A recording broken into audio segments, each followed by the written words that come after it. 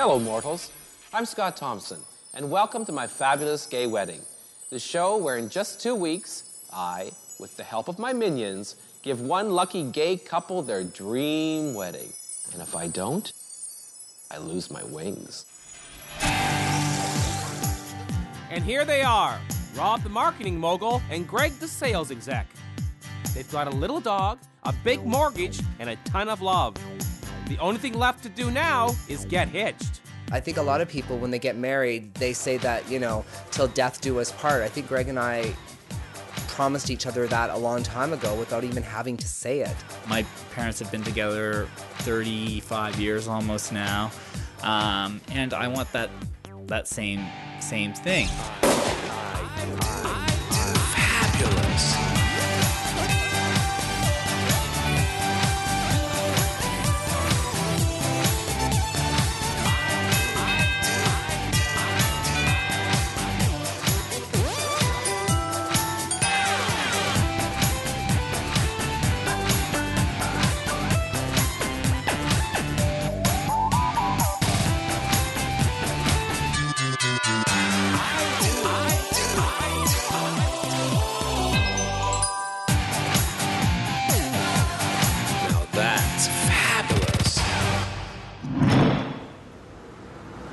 My assignment from the head fairy was to surprise the boys with a fabulous wedding in a mere two weeks or lose my wings. I've been told that Rob and Greg have Scottish roots, as do I, so I thought I'd make an appropriate entrance. Come along, lads and lassies.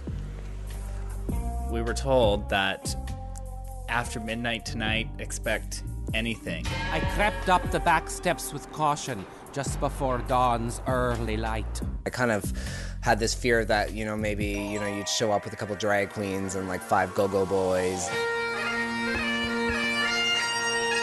I was in bed, And then I kind of saw a shadow in the doorway by the bed. then the bagpipes. Oh my god. Oh my god. First of all, I was thinking, oh my god, they did it. They woke us up in my sleep, and I don't have my hair done, and I'm in this old shirt. Good morning, Rob and Greg. Good morning, Mr. Thompson. Normally, you don't always wake up to a celebrity on your back fire escape in bagpipes and a kilt. Greg? Normally, we kick the guy out long before the sun comes up. It would be very safe to say that we're both in a state of shock today, yes. Yes, thank you. What, do you know what you want to wear? No. No? At the wedding? Do you have any idea? Um, tux maybe? Oh, how exciting. I met Greg at a nightclub, and we were immediately attracted to each other and hit it off. And we kind of just danced until late into the morning, and neither of us were tired. And he came back to my place just to hang out, and he never left. Uh, we have to decide who's going to be the bride and who's going to be the groom. The, the wedding's always about the bride. So who, who, who among the two of you mm-hmm. is that- Him. is this more important Him. to? Because the bride gets everything. Oh, me. Yeah. Okay. Like then all the there- special okay. gifts? Yeah. Yeah, I'll be the bride. More of the gifts. More of the gifts. More of the attention. I don't know what that mystery ingredient is that makes you love somebody, but when I met him, we fell in love and have been happy ever since. I have a confession. I don't know anything about weddings. In fact, none of my marriages has lasted till brunch. So I hired some pros to make me look good. Fern Cohen is the top marriage maven in town, and her gay blade sidekick Gregory White knows everything about parties. They asked me to snoop around Rob and Greg's for some dirt. You gonna help me? I need some uh, information from you. Any secrets? Where should I look? Tell me where I should look. What? Oh. Oh! What's this? Shepherd's pie. Shepherd's pie just about broke my foot. The McKinnises. Okay, I'm glad. Oh, look at with their tartan. Those must be their aunties. Oh, they like their families. I wonder if they have big fa- come from big families. I need some gum. Here we go. Okay, partying, lots of partying. Shirts off, shirts off. That looks like that's Greg naked. They're naked in every picture. Max, what the hell's this? Club music. Boys like to party. These are normal gay men who like to party and like their families. Max, do you know those two can go together? Hi, Scott.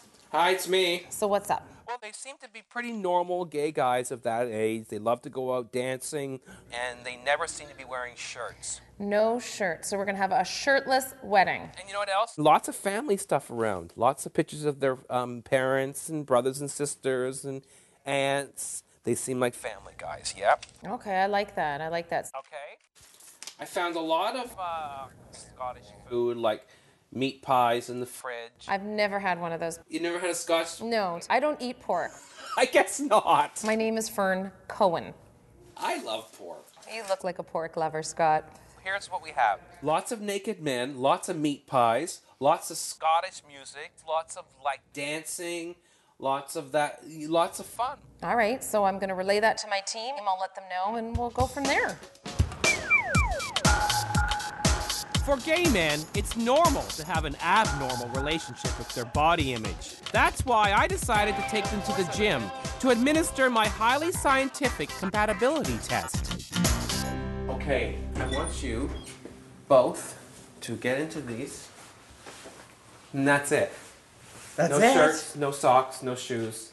And being the middle of winter, I um hadn't been dieting lately. Did you see that? To be in the boxing ring topless in like shorts that we didn't even pick out. We're mm-hmm. going to take this book, which is the Bible of gay men's relationships. I'm going to ask you questions. Now, here's the qu- and you fill in the blanks. Greg, I was really annoyed when. Greg, I was really annoyed when you took all my clothes hangers for your clothes and left all mine on the floor. Rob can drive me very crazy at times. I mean, I love him through all of it. Rob, I'm suspicious when. I don't know. I could be suspicious a lot. I really didn't know how to love. And I think that Greg really showed me what like how to express, you know, my love. I regret we didn't. I regret I regret we didn't ever have the chance for you to meet my dad. Aww. I think my dad dying made me realize how, you know, important my family is so important to me. And I realized after that how important it was for me to bring Greg into my family. Uh, Rob, I feel such pride in your enthusiasm and energy and drive. and Rob, it hurt me when. Rob, it hurt me when you um, cheated on me. We both have strong personalities, so there was a there were some fights in the beginning. there were some outrageous fights in the beginning. Greg, I'm deeply sorry that Apologize for the cheating. at this point I we, we've really solved that and now it's only about, you know, discovering life together. I think we're going to call a halt to this. So, gentlemen, put your gloves together.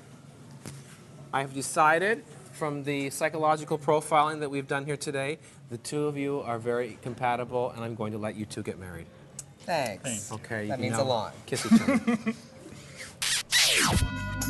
12 days to go. Now, what's a wedding without a wedding party? Which brings us to Hope. Hope came from out west with Rob by Greyhound 10 years ago and has been his best buddy ever since. Remember in college when you thought you were going to get the part of the witch and into the woods?